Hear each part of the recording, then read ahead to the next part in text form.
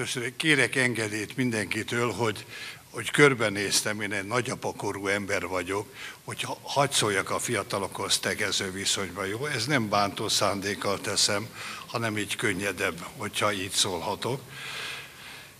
Örülök, hogy itt lehetek, hogy meghívást kaptam.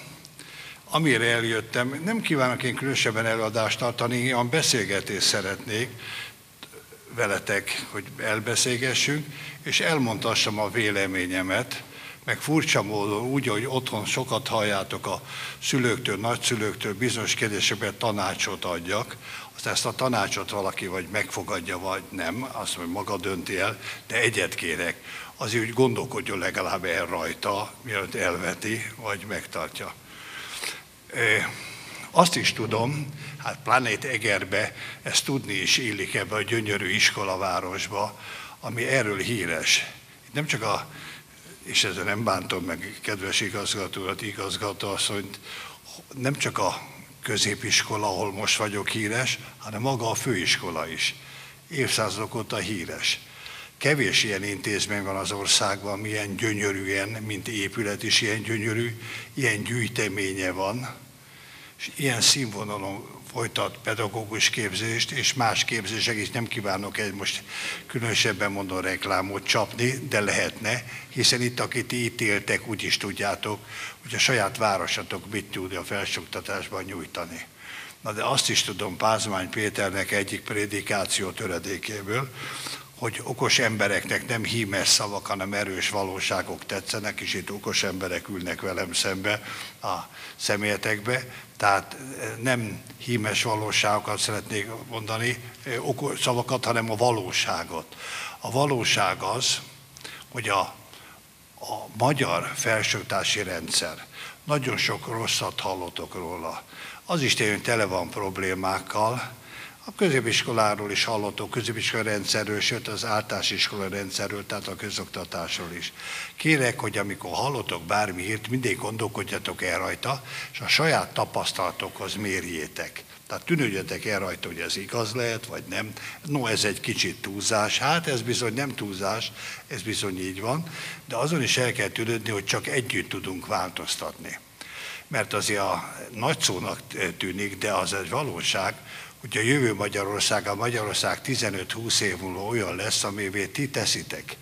Már most elkezdtétek ezt a tanulmányotokkal, aztán majd egyetemi tanulmányokkal, vagy szakmai tanulmányokkal, aztán kimentek az, hogy ti, ti legyetek azok, akik az ország sorsát a kezikbe veszitek, munkátokkal, tudásotokkal, de hát erre föl kell készülni, úgy, mint a jó sportoló is edzéssel készül a versenyre előre tudja, hogy mikor lesz majd a verseny, és fölkészül rá. Ti is tudjátok, mikor lesz a verseny, mikor kezdődik. A verseny már elkezdődött. Elkezdődött azzal, hogy ide a középiskolába jártok. Amit most hallottatok, ez egy nagyszerű középiskola. Kérlek, éljetek ezzel, és mindazt a tudást, amit meg lehet szerezni, el lehet sajátítani, azt vegyétek át oktatóitoktól, tanáraitoktól.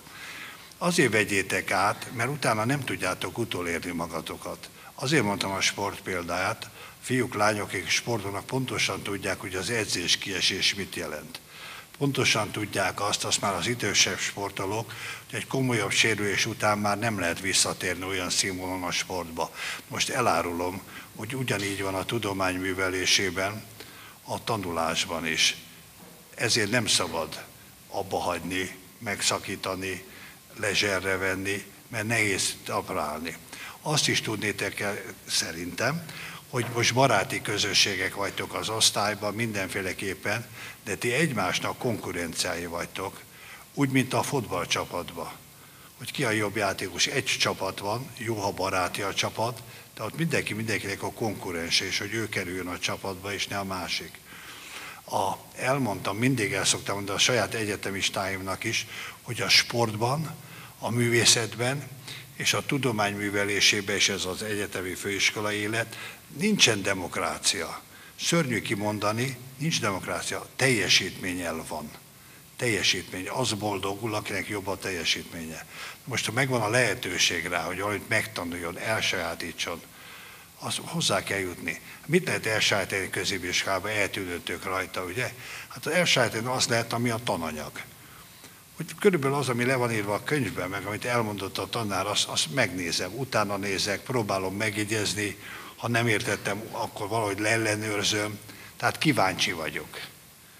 Ez az egyik. A másik, hogy tudtok egy kicsit ebbe a versenybe, ahol teljesítménnyel van, a másik elé kerülni. Nem azért, hogy legázoljátok, hanem hogy kicsit különbek lehetek, mert ez az életnek a rendje.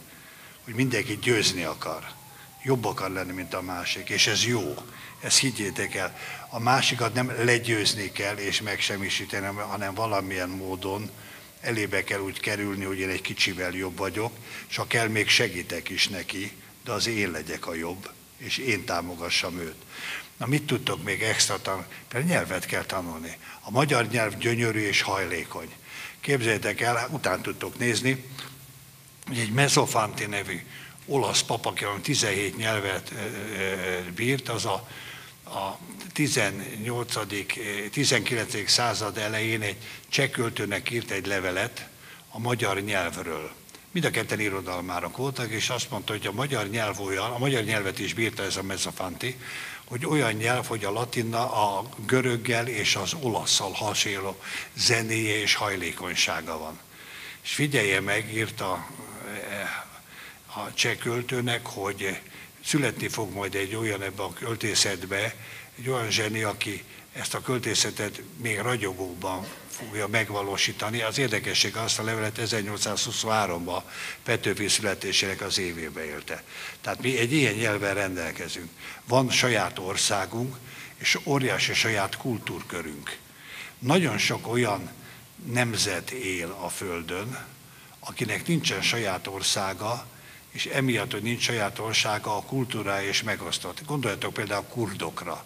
Valaki utána tud nézni a földrajzba, hogy hány kurd él a világban, és hány országban vannak elosztva, nem tudnak egy államot létrehozni. Magyarországnak van állama, van történelme, van kultúrája.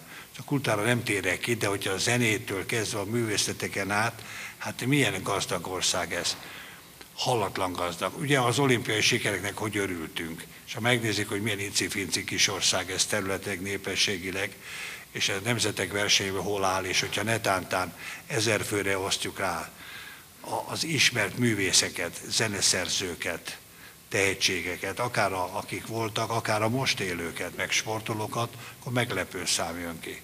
De egy bajunk van a nyelvvel, hogy csak kb. 15 millióan beszélik ezt a gyönyörű hajlékony nyelvet. Ha mi kapcsolatot akarunk tartani a külvilágra, és persze, hogy akarunk, hidat akarunk verni, akkor meg kell ismernünk a szomszédunk nyelvét. Ezt már Kölcse is leírta, kötelességünk, hogy óvjuk anyanyelvünket, de más ország nyelveit megtanulni is kötelességünk. A kapcsolattartás miatt be tudjuk mutatni, hogy mi a mi kultúránk, mi a mi gondolkodásunk, a mi tehetségünk. Kimondtam ezt a szót, hogy kehetség, meg tudás, hiszen azért kell tanulni itt is, meg az egyetemen is, de azt tudni kell mindig, hogy a tudásnak, mindig a tudás eredménye csak az eredmény nemzetközi. Azt mindenki használhatja. De maga a tudás, a kutatás, fordítsam le úgy, hogy a kutatás eredménye az mindig nemzetközi, mindenki használhatja, de a kutatás maga nemzeti. Az mindig középiskolához, egyetemhez, akadémiához valahoz kötődik. És ebben Magyarország jó áll. Higgyetek el nekem, a találmányoktól kezdődően a golyóstól, ha csak ilyet nézzük, a Rubik kockán át, most nem menjek más műszaki találmányokig, az ide, ide kötődik. De meg kell maradnunk. És amit mondtam, 10-15-20 év múlva lesz az ország, amilyet ti formájátok. Hát az meg föl kell készülni. Ezért kell megtanulni idegen nyelvet is, és azért mondom, mert aki egyetemre, főiskolára készül, most kitör belőlem az államtitkár, ha megengeditek, a mérektől nem látok, mikor arról olvasok újságcikkeket, hogy szenvednek főiskások, egyetemisták, hogy nem tudnak hozzájutni a diplomájukhoz, mert nincs nyelvvizsgájuk. Most azért vagyok mérges, hát amikor ő beiratkozott, hát ő pontosan tudta, hogy mi a feltétel, hogy diplomához jusson. Hogy egy nyelvet is meg kell tanulni. Hát mire gondolt? Hogy a végén majd azt úgy elsumákoljuk, és akkor arról le lesz szó. Hát még jó, hogy nem a matematikát, vagy biológiát, vagy valami mást hagyott ki, ugye? Arról nem beszél, hogy mindig elgondolkodom adon, hogy neki nem hiányzott már tanulmány alatt a nyelvtudása. Ezért biztatlak benneteket, hogy középiskolába kell nyelvet tanulni. Az egyetemen, főiskolán a nyelvtanulás nagyon fontos, de a szaknyelv. Tehát a szakmátoknak az angolját, a németét kell megtanulni, hogy kapcsolatot tudjatok tartani, hogy boldoguljatok. Miért mondom, hogy kapcsolatot tudjatok tartani, boldoguljatok? Azért, mert nektek egy olyan versenybe kell helyét állni, ahol nem Magyarországon, mondtam, hogy egymással versenyeztek. Igen, idehaza, de az egész világgal. És senkinek nem érdeke a világban egy holland, dán, német, angol egyetemisták, középiskolánk, nem érdeke, hogy ti különbek legyetek nálunk. Nem beszélek most már ázsiai országok jönnek fel, Kína, Japán, a tudományban, a tanulásban, az egyetemeken. Ez csak a ti érdeketek és ha versenybe akartok maradni, akkor bírni kell az ő. Bírni kell az ő hogy jobbak legyetek ne csak a szomszédotoknál itt a versenyben, hanem majd náluk is. Vagy legalább olyanok legyetek. Ezt nem lehet megkerülni. Mindig bosszant az, hogy történelmből tanuljátok, volt Magyarországon peregrináció, ugye, milyen furcsa szó. Hát ez azt jelentette, hogy a, a tehetséges fiatal magyarok, amíg nem volt Magyarországon egyetem, 1635-ben Pázmány Péter alapította, Nagyszombatban, ma Trinavának hívják Szlovákiában van, hát mert a törökök az oszmán birodalom volt itt Magyarországon. Pont azért olvassátok el az alapítóiratot, hogy ennek a vad nemzet fiai szelidűjének hát ez most egy furcsa fogalmazás, de pontosan leírta, hogy miért gondolta, hogy legyen egyetem. És egyetemet teremtett. Pontosan ezért. Tehát a lehetőség megvan, most is megvannak az egyetemek. Ezt ki kell nektek használni. De nagy versenyben vagytok, még egyszer mondom, a külfölddel, a boldogulással. Ezért a pályaválasztás, hallgatték el a tanáraitokra, a szülői házra, ezt abszolút aláhúzom, de azért saját magatokra. Hogy mihez van kedvetek, mihez érzel tehetséget. És a, úgy, nem az mondja, hogy pontos szakot fogalmaz meg, hanem az irányt, hogy mely irányba kívánok elindulni. És azt már most 15, 16, 17, 18 éves korban elkezden gondolkodni. Ez nem olyan merev dolog, hogy kőbe van vésve, mert lehet szakot változtatni. De szakot hangsúlyozom, nem az irányt. Tehát azt, azt már nehezebben, akkor nem jó gondolta meg. Arra is van példa, de gondoljátok végig, hogy ne veszítsetek időt, meg energiát. Mert a lehetőség megvan a tanulásra. Most a lehetőség megvan a tanulásra, mondok egy pár számot. Azért, a számokat csak azért mondom, mert annyi adat kering mindenhol, újságban, itt ott, ott, hogy milyen nehéz egyetemre, főiskolára bekerül, milyen drága. Én ezt mind elismerem. De csak annak nehéz bekerülni egyetemre, főiskolára, aki nem, nem tud megfelelő pontszámot biztosítani magára. Furcsa ezt kimondani, hogy pontszámot, de ti ismeritek, hogy hogy pontozzák, ugye, hogy melyik egy, mennyi, hány pontot ér. A nyelvtudás nagyon sokat ér. Képzeljétek el, hogy voltam olyan eh, gimnáziumban, Nyíregyházán, ahol elhűltem, hogy a elmúlt évben érettségizett 130 hallgató közül 94-nek nyelvvizsgája volt, 17-nek két nyelvből volt vizsgája. Ugyanígy volt a Mosó-Magyarváros gimnáziumban. Most ez azért mondom nektek, hogy a ti iskolátok is megad minden lehetőséget ezen a téren is. Tehát éljetek vele, és a nyelvtanulás az olyan, hogy a tanulás szót hangsúlyozom, nem a tanítást. Mindent tanítanak a tanáritok, de nektek kell mindent megtanulni. Az egy nagy különbségám. A tanítás az olyan, hogy segítséget kaptok. A tanulás meg az, hogy én magam elsajátítom azt. És nyelvet tanulni, azt, azt csak úgy lehet, hogy én vagyok. Én vagyok, én vagyok szemben a könyvvel, a magnó, magnetofonnal, a CD lemezzel, a televízióval, a rádióval, az idegen nyelven beszélnek, és próbálom elsajátítani. Az ilyen egyszerű. De ezt azért beszélek el együtt, mert nagyon sok pontot hoz a felvételinél. Na most az a felvételi lehetőség, amit olvastak, hogy jövőre 260 pont lesz a felvételi minimum, biztos tudtok róla. Hát elárulom, már ne haragudjatok, hogy ez, ez, egy, ez egy gesztus a kormányzattól, mert ez egy közepes tudást akar csak. picivel talán jobban, de inkább közöves tudást. Amikor akinek ennyi a tudása, az nyugodt szívvel mondom, az ne nagyon jelentkezzen egyetemre, főiskolára, mert frusztrált lesz, nem lesz boldog. Mert ott találkozik, fölveszik őt esetleg, de találkozik olyanokkal, akiről kiderül, hogy sokkal többet tudnak, mint ő. És a tudásba, ebben az oktatásba, az egyetemi főiskolai oktatásba a tudományműveléséhez az a cél. Tehát nem az, hogy valakit fölemeljek, magammal húzzam, rávegyem, nógassam, mert hiszen már egy fiatal felnőttő, ő dönt. És borzasztó nehéz utolérni magát. Most kell, hogy ne ilyen kis pontszámot érjen el.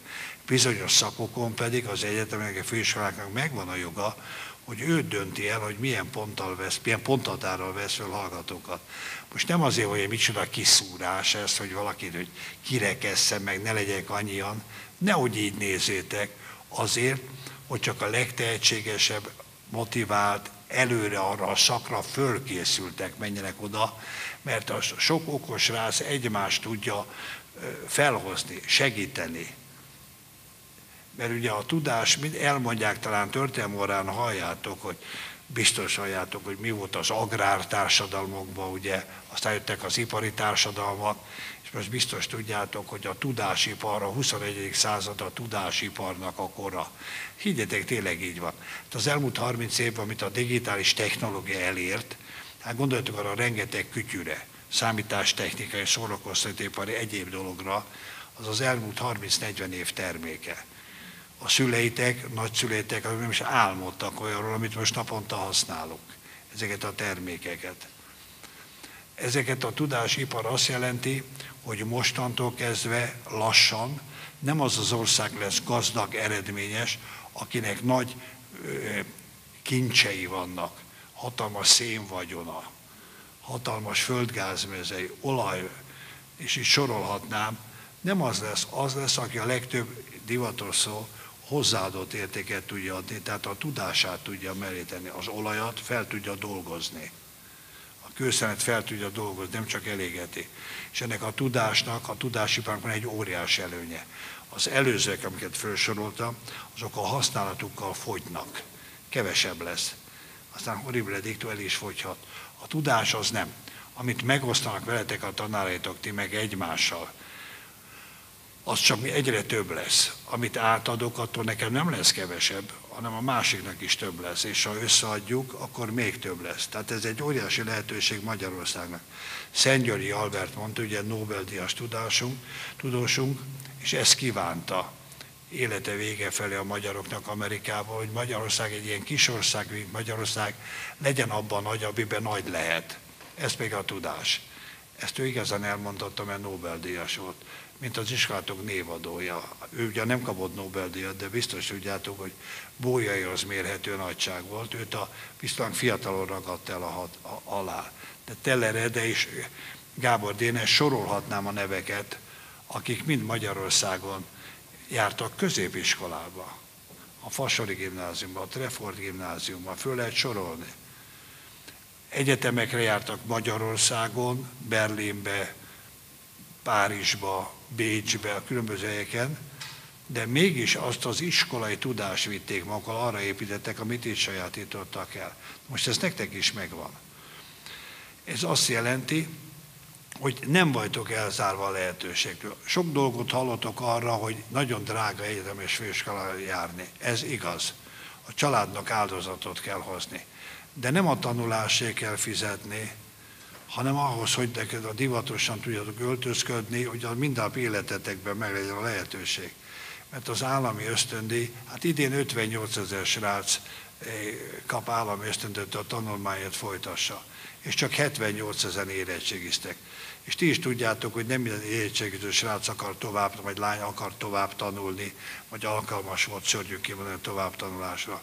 Tehát ez a lehetőség megvan. Hallottatok ilyen is, hogy diákhitel.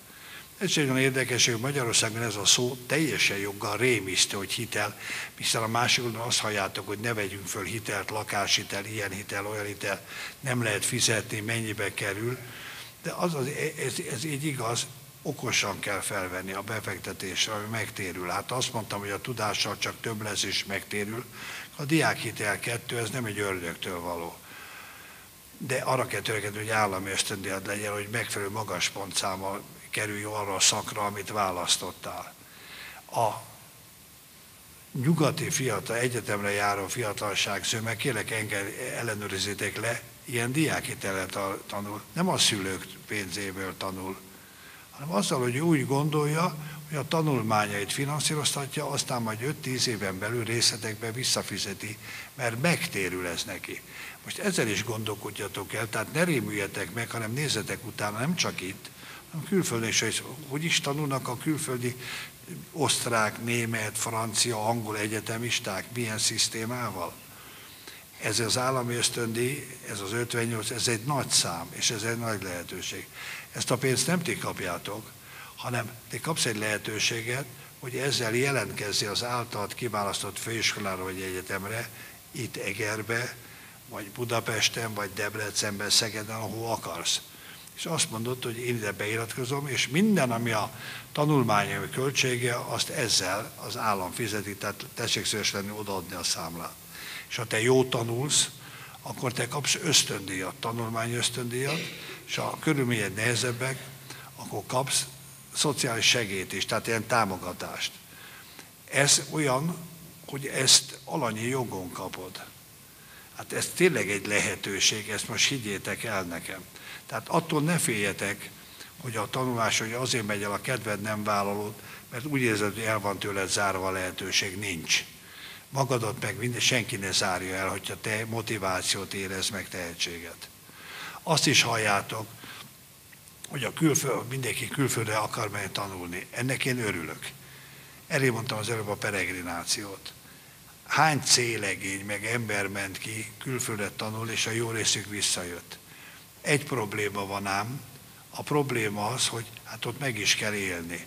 Mikor hivatkoznak arra, hogy sok országban nincsen tandíj, tehát nincs ilyen állami ösztöndíj, de nem kell fizetni a tanulmányok. Igen, de ott meg kell élni. Itt meg ez esetek, ez a lehetőségetek megvan. De aki úgy gondolja, hogy külföldön akar tanulni, menjen. A számok azok egyébként más mutatnak, mint amit találkoztak tévében, rádióban.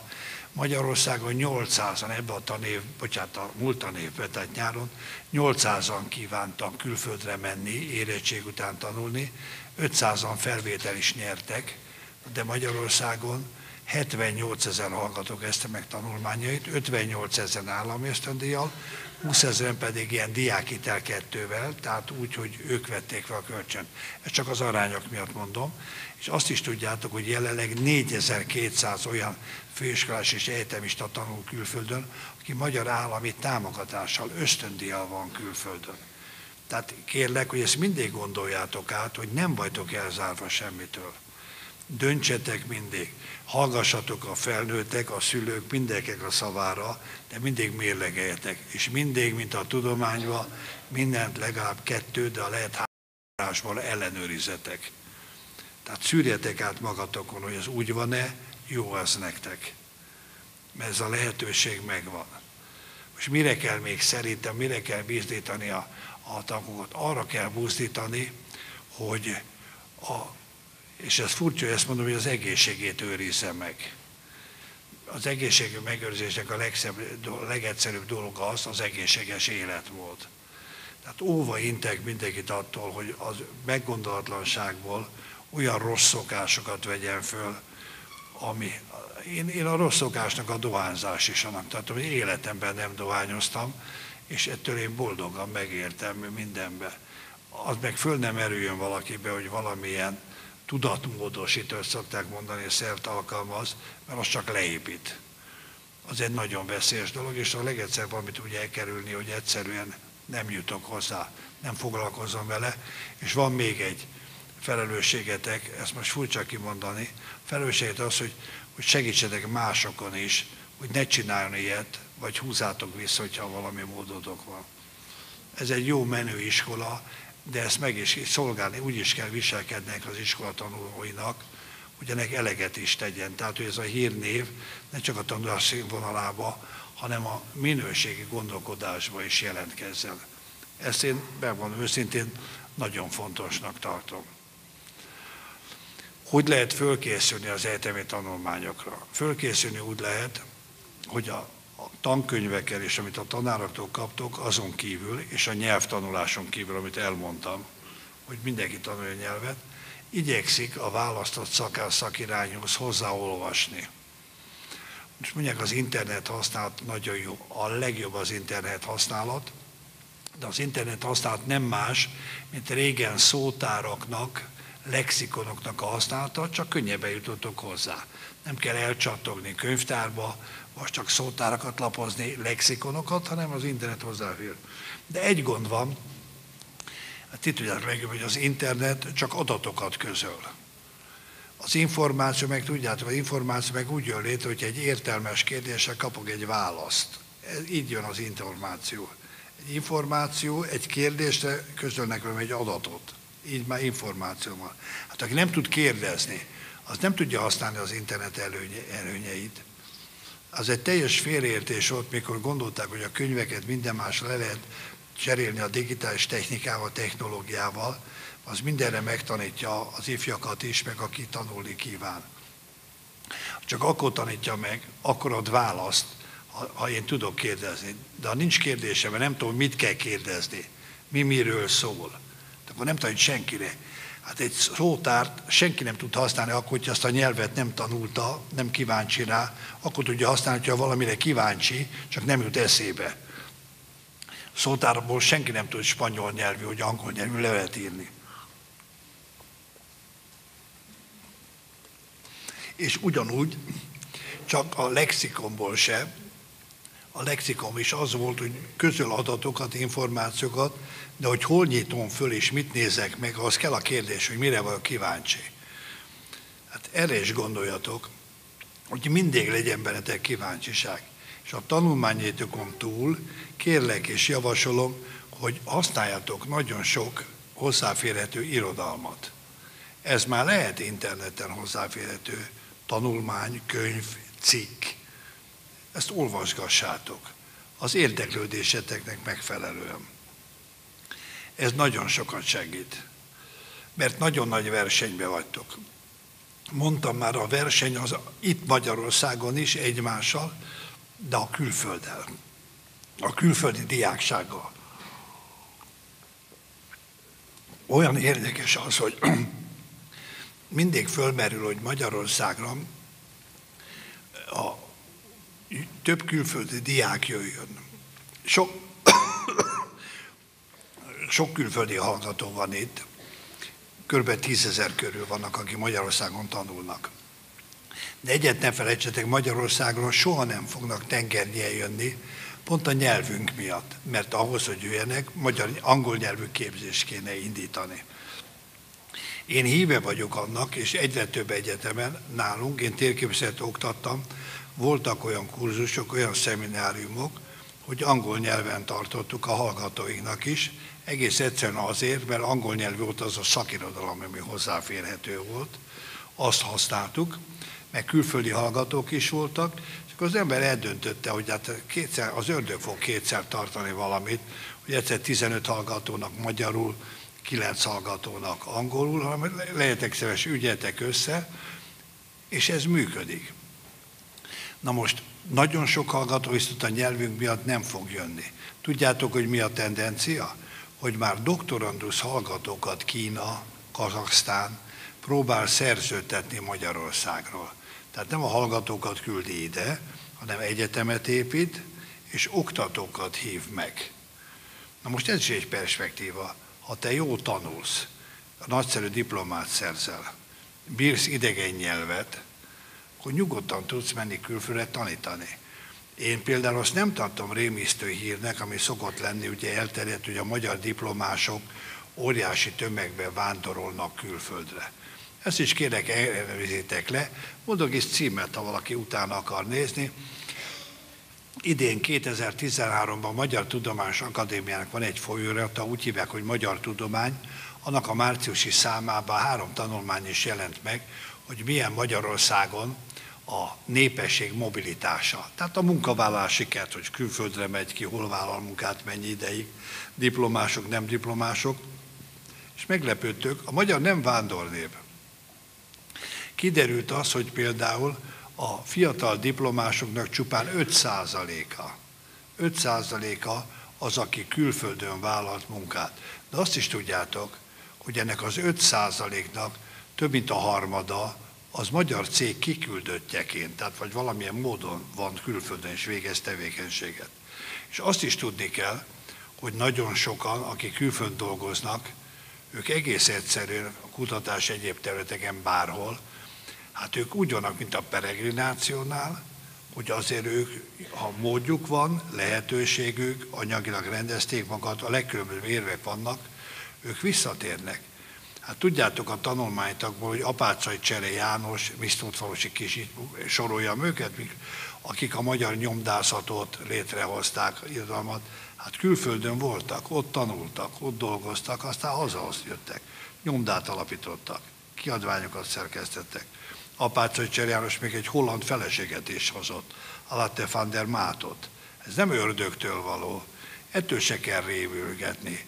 A világban a fiatal köt van egy ilyen cserébere. Rengetegen vállalnak munkát, amerikaiak Németországban, még több német Amerikába, Angliába, svédekkel találkoztok, ha lementek a Mediterrániumba, hogy ott vállalnak munkát, ez nem baj, ez is a peregrináció. De ehhez kell nagyon jó szakembernek lenni, nyelvet kell írni, és kell lenni, és amiről most szeretném még szólni, mikor diplomához jutott valaki. Itt Magyarországon nagyon sokan összekeverik, hogyha valakinek felsőoktatási bizonyítványa van, úgy mondják, hogy diplomája van, az még nem, ér, az nem értelmiségi ember. Az csak arról van neki írása, hogy felsőfokú tanulmányokat végzett, és sikerrel bezárta, lezárta. Az értelmiségi ember, hogy valaki értelmiség legyen, és azt kívánom, hogy azzá váljatok, az több annál abban van önzetlenség, segítőkészség, kötelességtudás, és itt sorolhatnám azokat, amik nagy szavaknak tűnnek, de mindenkinek jó esik, ha ő találkozik vele, ha vele szembe gyakorolják. Azért azt senki nem utasítja el. De az igazi értelmiségé, abban benne van ez a kötelezettség. Tehát az a kötelezettség, hogy ő köteles, mivel értelmiségével diplomája van, a többieket segíteni, a munkájukat vezetni, támogatni, irányítani, az utánpótlást biztosítani valamilyen módon, hogy legyen, az ő nyomába is tudjanak lépni. Van egy ilyen kötelezettség.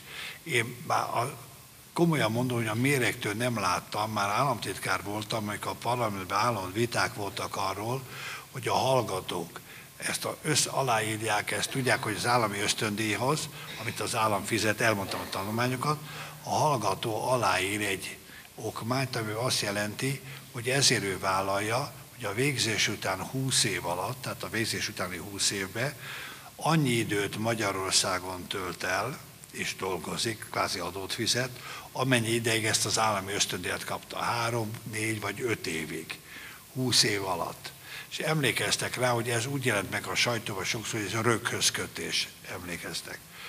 Tudjátok, mi volt az érdekesség, és én büszke voltam az egyetemistákra. A hallgatói önkormányzat protestált ellene. Nekik nem ez volt a probléma. Nekik a visszafizetési kötelezettség volt, hogy a dupláját kell visszafizetni. De azt se tartották valós problémának, csak azt mondták, hogy nem elegáns ez a feltételezés, hogy nagy tömegbe kívánnak elmenni. De van egy olyan dolog, hogy azért azért, gondoljátok ezt el, kérlek benneteket, hogy egy nemzethez, egy szülőföldhöz való tartozás, egy anyanyelvhez való ragaszkodás, az nem csak kötelezettség, kvázi örökhözkötés, az felhajtó erő is. Hát itt ezt téveszik össze nagyon sokan, hogy, hogy nem mernek szembenézni magukkal, és föltözönöket gondolkodást próbálnak sugalni az embernek az, az hogy morál, etosz, erkölcs, ezek fontos dolgok ám. És ezt mindenki igényli a másikkal, tehát maga irányába, hogy ezt kapja meg. Az értelmiségi emberek azért különböző a többinél, mert ő először adni kívánja ezt, átadni. És én ezt kívánom nektek, ezt is sugallom, hogy ilyenek legyetek. Tehát amit szeretnék a példabeszédeken túl, kérlek, hogy becsüljétek meg nagyon az iskolátokat. Ez egy nagyon jó iskola. Én tudom, hogy alapítványi iskola, És az alapítvány iskolában az a jó, hogy ezt olyan emberek hozták létre, akinek volt valamilyen elképzelésű küldetéstudatuk. Ez egy jó dolog. Hallottátok, ezt az előbb közöltétek veletek, hogy a rangsorba, tehát ilyen iskolák közötti rangsorba hol álltok. Azért azt tudni kell, hogy Magyarországon 3200 település van. Hogy hány iskola, azt én most nem tudom elmondani, meg milyen iskolatípus, nehogy félértést tegyen. De azért másodiknak lenni, hát azért az valami. És azért ezt nyújtja nektek az iskolátok, terre büszkék lehettek. Itt van ez a gyönyörű főiskola. De itt van a teljes magyar főis, felsőoktatás, aki vár benneteket. Ezt gondoljátok végig. Ha úgy gondoljátok, hogy a családotoknak nincs módja, hogy mindent fizessen a tanulásokhoz, akkor a lehetőséget köszönjétek meg a szülőknek, nagyszülőknek, hogy idáig eljutottak benneteket. És majd álljatok a saját lábatokra. Én nem azt mondom, hogy most, hát majd most a beszélgetés végén álljatok a saját lábatokra, másképp nem tudtok elmenni, hanem úgy a saját lábatokra, hogy csak annyit vesztek igénybe, hogy inkább ti segítetek a szülőket, nagyszülőket. Amit tit meg el tudni, hogy igénylem az állami ösztöndíjat, és én tanulok, hogy én kapjam meg. És úgy tanulok, hogy kapjak ösztöndíjat. És hogyha jobban akarok élni, mert a divat is érdekel, akkor van a diákhitel egy, diákhitel kettő, bátran fölveszem a diákhitel egyet, ezek ilyen számok, ami azt jelenti, hogy azt a pénzt, amit kapok, fölhasználtam másra is, mert van bennem erő, akarat, önbizalom, hogy én majd a tudásommal vissza tudom adni. Le tudom törleszteni, mert van bennem tehetség, meg ambíció. De mindent ti értek el, magatok érti. Tehát innentől kezdve, 18-19 évtől kezdődően egy szabad versenyben lesztek egymással. És hálásnak kellene, amit kaptatok, és utána el kell kezdeni, amiben lehet saját lábra állni. Ez pedig ez az élet, ami előttetek van. Aki úgy érzi pedig, hogy ő nem a továbbtanásba boldogul, mert neki a manualitása, az ügyessége valami nagyobb, az is egy boldog ember lesz, csak találja meg azt, hogy mi az ő életének a célja, mihez van kedve, mi teszi őt boldoggá, mi szórakoztatja őt, mi nem nyűg neki. És most már itt az ideje, hogy ezt nem kell megosztani, de mindenki saját, maga, saját magát senki nem csapja be, ezt is tudjátok. Mindenki más félre lehet vezetni, egy kicsit lehet sumantani, de saját magát senki. Hát amikor az urak, most már egy csomó úrra lassan ráfér a borotválkozás, hogy elnézem, nagyon jó elszórakoztatja magát a, tü- a borotválkozásnál a tükör előtt, mikor magával szembenéz, hát hölgyeknek meg a sminker is egy ragyogó lehetőség erre, hogy saját magával nézzen szembe, és úgy gondolja át azt tulajdonképpen, hogy ad vagy kap, és inkább adjon. Gondoljatok arra, hogy egymásnak segítőkészséget inkább adjatok, mint kaptok, az is nagyon, és fogadjátok el, amit kaptok, de azt viszont nagyon meg kell becsülni, amit kaptok. És az legyen, és ez a kérésem, hogy ezt jegyezzétek meg, hogy 15-20 év múlva Magyarország olyan lesz, amivé ti alakítjátok. Ezt kérlek, ne felejtsétek el. És ebben legyetek szigorúak, hogy a mostani, ami a felnőtt világ, a ti rovásotok ne roncson nagyon sokat rajta, lehetőleg jó állapotban kapjátok meg, de ti meg készek lehetek arra, hogy átveszitek, és ezt tudjátok teljesíteni. Most ehhez kívánok én nektek töretlen egészséget, töretlen hitet és akaratot. Nagyon szépen köszönöm, hogy meghallgattatok, és itt készen állok, a, beszélgetünk, hogyha bármilyen kérdésetek van a felsőoktatás vagy a közoktatása kapcsolatban, semmiféle kérdés, kényes is, nyugodtan tegyétek fel, ha van ilyen. Tudom, hogy ez, ez, ez szokott lenni, ez a költői dolog, nem amikor arról az, hogy ennyit beszélt a tag, most már örülünk, ezt meghallgattuk. Kérdés van, de azt majd csak holnap szeretnénk föltenni, majd átgondoljuk, adja meg a címét, majd elküldjük neki, de most nem hallgatjuk tovább, ugye? Ezt is tudomásul veszem.